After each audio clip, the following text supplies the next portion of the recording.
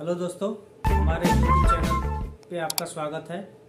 आज हम हाजिर हैं एक नए वीडियो के साथ, जिसमें हम आपको बताने वाले हैं H B A C duct के बारे में, कि डक्ट में कौन कौन से फिटिंग्स होते हैं क्या क्या यूज़ होता है, कैसे वर्क करता है। इसके बारे में हम आपको वीडियो में डिटेल्स में बताएँगे। वीडियो के बारे में नॉलेज है तो वीडियो स्किप कर सकते हैं, नई नॉलेज है तो वीडियो को अंत तक देखिए, आपको ज़रूर कुछ जानने, सीखने के लिए मिलेगा। दोस्तों, आप अगर हमारे चैनल पे पहली बार आए हैं तो वीडियो को सब्सक्राइब ज़रूर करें, जिससे हमारे आने वाले प्रत्येक वीडियो का नोटिफिकेशन आपको मिलता रहेगा। आइए दोस्तों, हम वीडियो को स्टार्ट करते हैं। पहला है दोस्तों यूनिफिक्स उसके बाद है रॉड रॉड और यूनिफिक्स डिफरेंट साइज़ में आता है। सिक्स का आता है टेन का सिक्स का एट का टेन का ट्वेल्व का फोर्टीन का।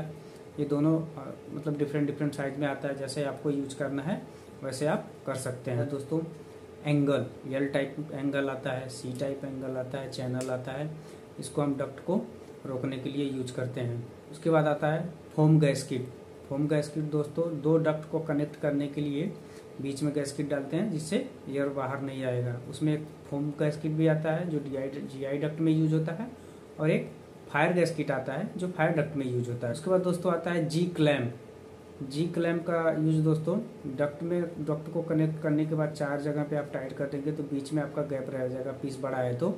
तो उसके लिए जी क्लैम्प आता है, जिसको हम लगा के जी क्लैम्प को टाइट कर सकते हैं, जो हमारा गैप बंद हो जाएगा। उसके बाद दोस्तों आता है सी क्लीट सी क्लीट और यस क्लीट इसमें दो तरह का क्लीट आता है।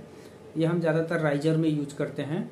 और ये छोटे डक्ट के लिए यूज़ होता है बड़े डक्ट के लिए बहुत कम यूज़ होता है। ना के बराबर होता है ये छोटे डक्ट में हम लोग यूज़ करते हैं। ऊपर आपको पिक्चर में सब कुछ देखने के लिए मिले उसके बाद आता है दोस्तों 90 का एल्बो 90 का एल्बो 90 के एंगल में डायरेक्शन चेंज करता है।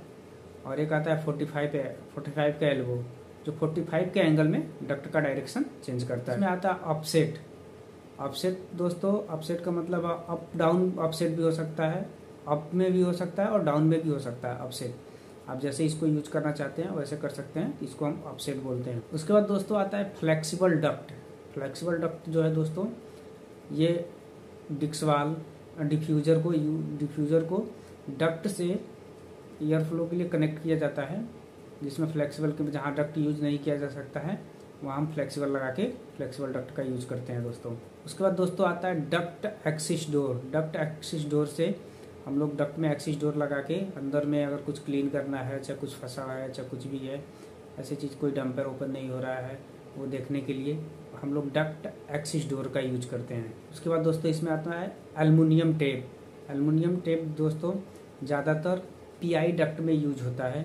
जी, दोस्तों उसके बाद आता है ब्लैक टेप या लाइनर टेप इसमें जीआई डक्ट में लाइनर करते हैं, अंदर से या बाहर से लाइनर करते हैं तो उसमें हम लोग इसका यूज़ करते हैं। इंसुलेशन में या लाइनर करने के टाइम में। इंसुलेशन लाइनर वही हुआ, लेकिन कोई लाइनर बोलता है, कोई इंसुलेशन बोलता है, ऐसे में इसका हम यूज़ करते हैं। इसमें एक होता है सू कॉलर।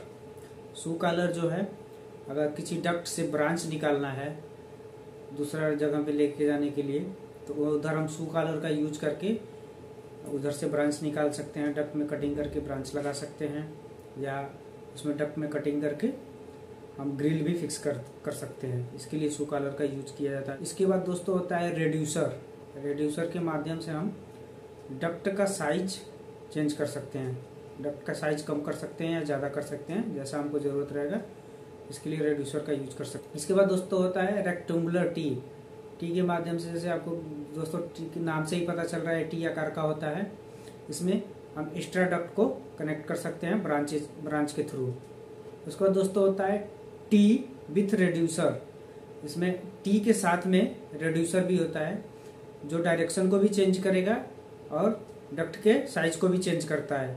इसको टी विथ रेड्यूसर बोलते हैं दोस्तों। इसके बाद आता है दोस्तों फ्लेक्सिबल डक्ट कनेक्टर इसके माध्यम से हम यूनिट और डक्ट को कनेक्ट करते हैं, जिससे यूनिट का वाइब्रेशन डक्ट में ना जाए।